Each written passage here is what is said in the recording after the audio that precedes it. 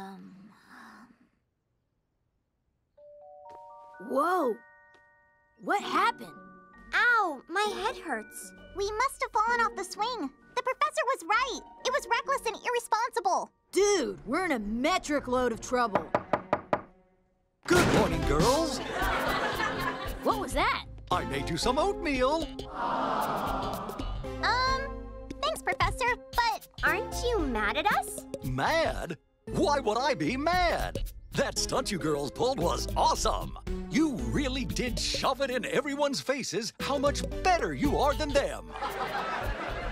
Uh, thanks? Anyway, I have to go now. I'm going Christmas shopping for my sweet little girls. it's June. I know. Hmm. I guess he's trying a new parenting technique.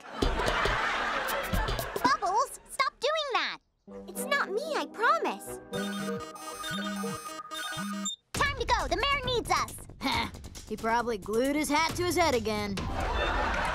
Let's get out of here. What's the trouble, Mr. Mayor? Hold on, girls. I'll be right with you. Mayor, how do we solve this budget crisis? That's how. You're a genius! Genius? Mayor, the cat and dog unions are at a breaking point. They're going at it like, well, you know. Give 'em here. Meow, meow, meow. Woof, woof. I'll shake paws and sniff butts. You're a hero. Hero? Mayor, can you open this jar of pickles for me? Easy. What a capable man! Man? Er, I mean, capable?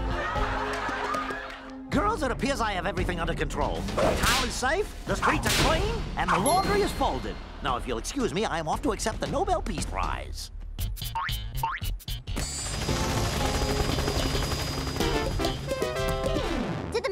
A leadership seminar or something? It's the professor! Mojo and Fuzzy just showed up at our house! Let's go! Prepare for a beatdown! Oh, hi, girls. You're just in time for book club. Mojo made tea. We're discussing Eat, Think, Smile. The tale of a bold, independent woman searching for true love and, in the end, finds herself. I need a moment. I know, buddy. I know.